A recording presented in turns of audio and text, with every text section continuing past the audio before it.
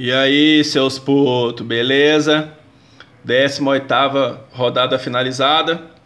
Vim falar um pouquinho de como foi o meu time e já dar uma previsão da próxima rodada.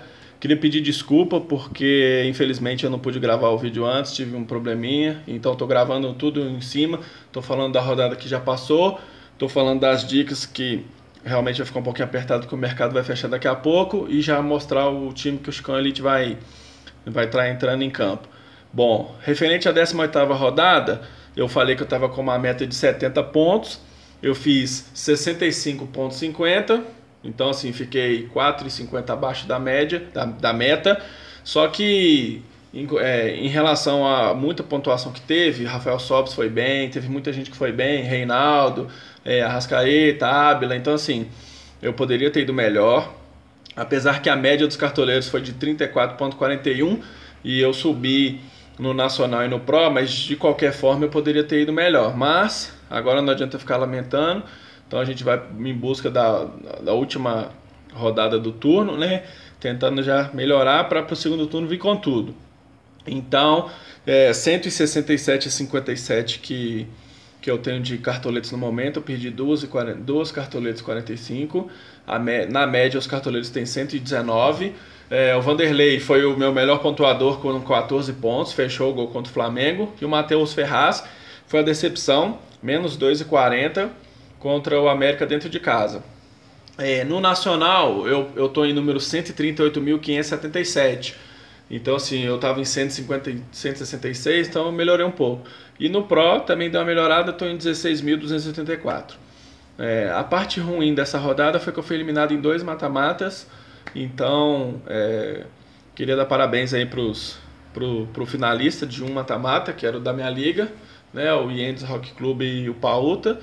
E, e, a outro, e o outro mata-mata do lixão, eu estava nas oitavas, fui eliminado. Né, mas tá bom, Daqui a pouco tem mais mata-mata por aí. Bom, vocês podem ver na tela aí, ó, os jogos de, de hoje, no caso um, e de amanhã e os de segunda. Então vou estar falando um pouquinho, bem rapidamente aqui, sobre as dicas dessa rodada.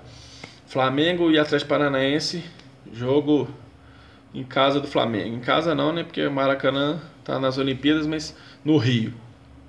É, aposto numa vitória do Flamengo. O Atlético Paranaense, apesar de estar fazendo uma boa campanha, Fora de casa ele é muito ruim. Então eu aposto numa vitória do Flamengo, questão dos 2 a 0 Então boas apostas para essa rodada. Muralha, Hever, é, Alan Patrick e o Guerreiro.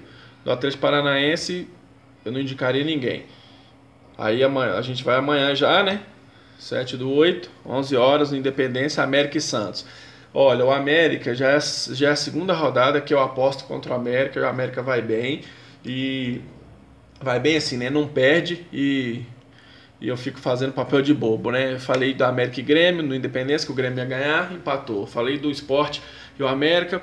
O América foi lá empatou, o esporte empatou no finalzinho. Mas, de novo, vou apostar contra o América, porque apesar do América ter mostrado um futebol melhor, é, o time do Santos é muito superior, mesmo com os desfalques, Gabriel na seleção, Thiago Maia, enfim. Ou seja, é, eu aposto de novo no Santos. Então, para essa rodada de, de boas indicações, Vanderlei no gol, porque o América pode finalizar muito. É, Ricardo Oliveira, se ele vier a jogar. Copete, Vitor Bueno, Vitor Ferraz, Luiz Felipe. É, Curitiba e Ponte. A Ponte é mais ou menos o caso do Atlético Paranaense. Dentro de casa ela é muito forte, mas fora de casa ela não vai tão bem. E o Curitiba é muito bom em casa. Então, para essa rodada do Curitiba, eu apostaria em Wilson, é, Juninho, zagueiro que fez um gol contra na última rodada e agora ele pode estar tá se redimindo, e Kleber. Próximo jogo, Palmeiras e Vitória. Palmeiras vem numa sequência negativa, né? Apesar do empate contra a Chapecoense no último jogo fora de casa, mas o, o Palmeiras não tá, não, tá, não tá bem. Então, assim, do Palmeiras que eu apostaria mesmo seria Eric, Cleiton Xavier e o Vitor Hugo. Só. É, Santa Cruz e São Paulo, jogo no Arruda, onde o Santa é forte. São Paulo, né, tá tentando se reencontrar. Eu, sinceramente, eu só apostaria no Keno do Santa Cruz e no Cuevas do São Paulo.